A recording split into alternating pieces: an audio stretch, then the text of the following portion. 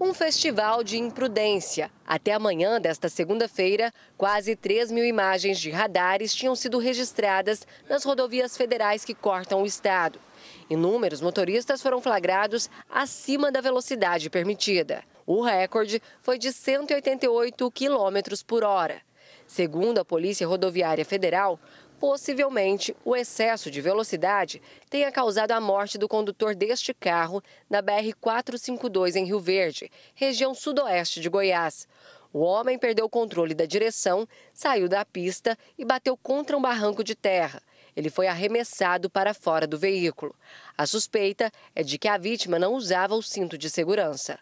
Outras duas pessoas também morreram na manhã do último domingo em uma batida envolvendo um carro e uma moto. O acidente foi na BR-364, entre as cidades de Santa Rita e Mineiros. Um carro que vai atravessar a rodovia, um carro por aplicativo, ele é colhido por uma motocicleta de alta potência, 1.300 cilindradas. Esse motociclista ainda tenta frear 7, 8 metros de frenagem, mas ele bate na lateral do carro, exatamente onde estava o motorista.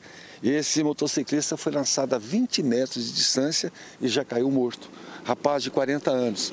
O condutor do carro, de 28, também não resistiu aos ferimentos e morreu no local.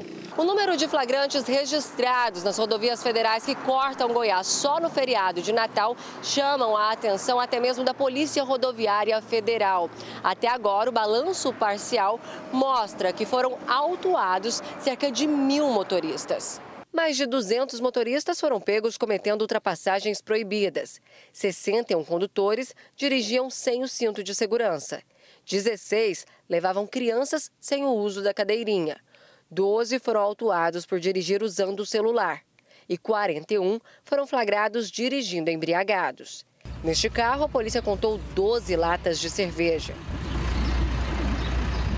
Um caminhoneiro também foi parado na cabine do caminhão. Ele levava uma caixa térmica com gelo e cerveja. O ano novo está chegando. É importante a gente ressaltar que, geralmente, esses festejos são movidos à embriaguez. E a polícia só no Natal flagrou 41 casos, imagina agora para o ano novo. É redobrar a atenção e aumentar os cuidados.